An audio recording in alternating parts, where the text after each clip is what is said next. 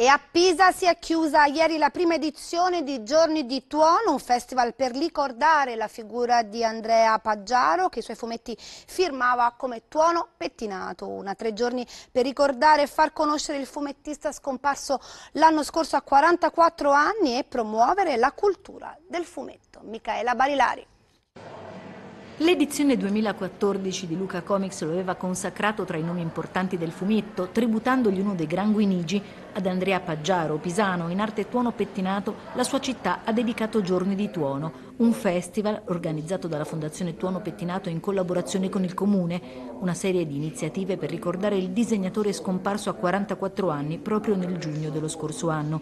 Il suo stile scarno e originale, con cui ha ritratto da Garibaldi a Kurt Cobain, ma anche sostenere quella cultura del fumetto alla cui diffusione Andrea ha contribuito. Promuovere mh, anche in futuro eventi che possano eh, in qualche modo sostenere soprattutto i giovani che intraprendono questo, questo mondo del fumetto che è, è un mondo bellissimo e affascinante. Tavole rotonde, concerti e proiezioni, incontri con fumettisti e una mostra di tavole originali al Museo della Grafica che resterà aperta fino al 19 giugno.